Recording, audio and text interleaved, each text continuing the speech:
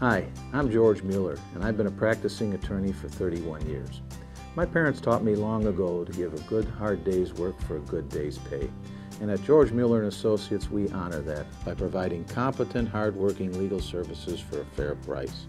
Over the years, I've handled juvenile, misdemeanor, felony cases, divorce, post-decree, adoption, civil litigation, and even injury cases and workers' compensation cases. We also handle real estate matters and have drafted many wills and trusts for our clients.